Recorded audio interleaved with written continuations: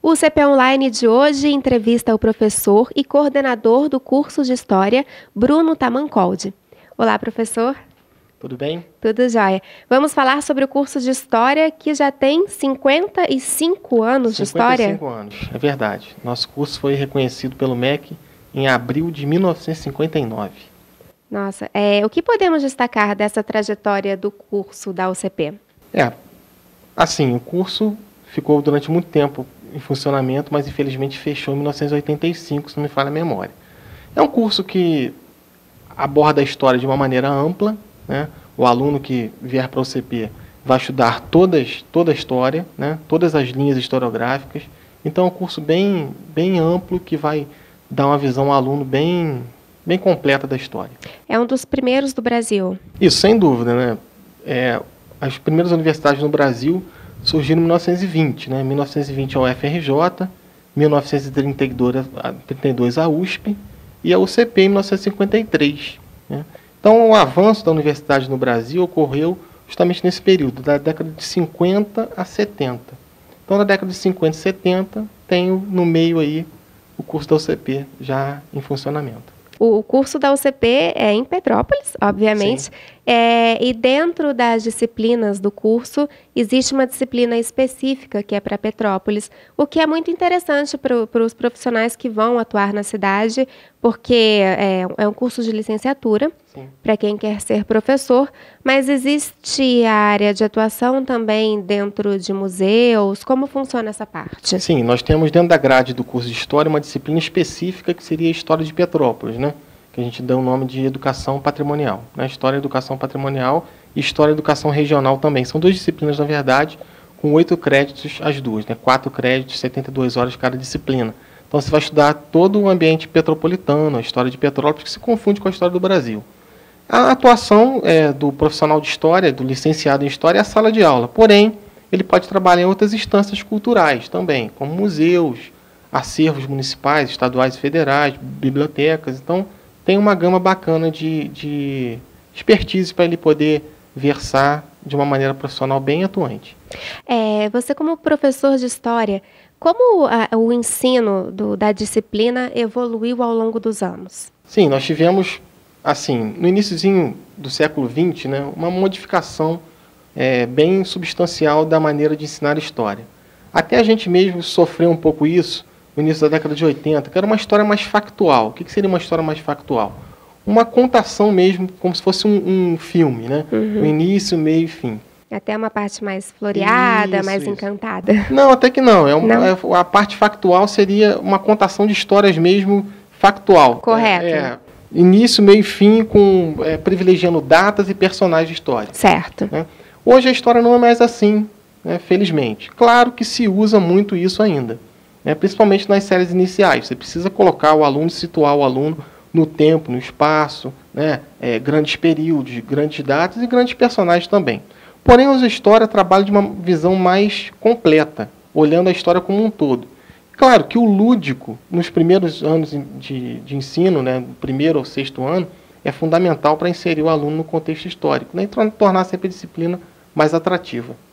É, e podemos falar também numa maior dinamicidade no ensino, utilizando outras ferramentas que não sejam só o aluno sentado, escutando o professor. Quais outros tipos de ferramenta podem ser utilizadas para que esse aluno ele introduza melhor a disciplina? Ah, sem dúvida. É, hoje a gente tem a sala de aula tem muitos recursos, né? Você pode usar quadro interativo, projetor, e, e além disso, claro que o quadro e o professor, na minha opinião, são insubstituíveis. Mas para você trazer o aluno, você pode usar diversos recursos.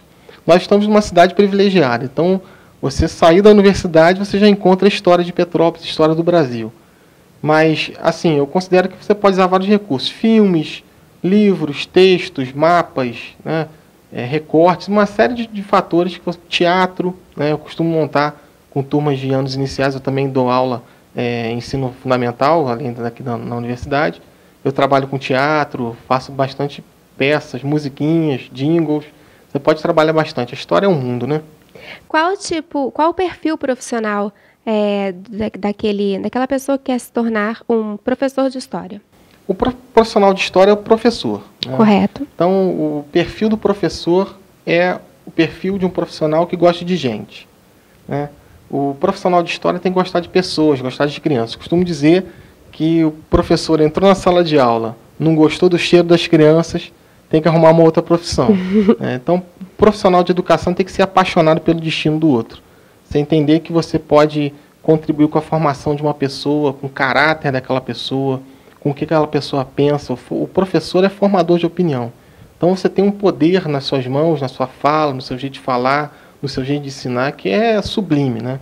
É, além disso, o professor tem que ser um entusiasta. Porque eu acho que se o professor esmorecer, o país, de alguma maneira, a cultura do país, a expertise daquele país vai diminuindo também. Então o professor tem que ser a ponta de lança. Né? Acredito que a gente possa falar também da do curso de História como um curso que vai, auxiliar em outros tipos de profissão? Sim, sem dúvida. O curso de História também é um curso que agrega muito, muitos valores culturais, né? uma visão social do, do, do, processo histórico. O curso como um todo é um curso que vai agregar muito a outras profissões. Inclusive, nós temos alunos que já são formados em outras profissões, como advogados, médicos, né? É, profissionais de outras disciplinas, como filosofia, sociologia, pedagogia, letras, que depois de um certo tempo vêm fazer história jornalistas, depois de um certo tempo vêm fazer história, que sem dúvida agrega muito valor às práticas profissionais que eles já atuam. Né? Então é um curso que é completo. Acredito que, acima de tudo, é um profissional apaixonado. Ah, sem dúvida. História é um mundo, né? História é apaixonante. Quem, quem gosta de história sabe como que história é, importante para a formação do pensamento social. Eu costumo dizer para os alunos de primeiro período especificamente que o profissional de história é aquele que senta na frente do jornal e entende exatamente o que a pessoa quer dizer. Porque às vezes as pessoas param na frente do jornal e o, o, o âncora né, vai falando as questões de política, de, de sociabilidade, de economia, de guerra, de conflitos, e o profissional de história entende isso perfeitamente porque é a área dele. Costumo dizer também que o profissional de história tem um diferencial, que o profissional de história olha o meio social de cima, né? Às vezes as pessoas passam pelos lugares, passam pelas instituições, estão nas instâncias é, culturais, mas olham e não enxergam. O profissional de história é aquele que olha com os olhos de ver. Ele vai olhar, vai enxergar e vai entender todo o processo. Professor, eu peço a você que deixe um convite para aqueles que estão interessados em saber mais sobre o curso e em uhum. cursar a licenciatura em História. Claro. É, venha fazer parte da nossa história, né? O CP tem uma tradição de 60 anos, né? O que para muitos isso é uma vida, para a gente é só o início, é só o começo. Então vem fazer parte da nossa história. Eu estou no ramal né, 2244 4032. O meu e-mail é bruno.tamancold.ucp.br pode entrar em contato comigo, vem assistir uma aula com a gente, você vai gostar. Professor, muito obrigada pela sua participação. Tá ok, eu que agradeço. o CP Online fica por aqui, até o próximo programa.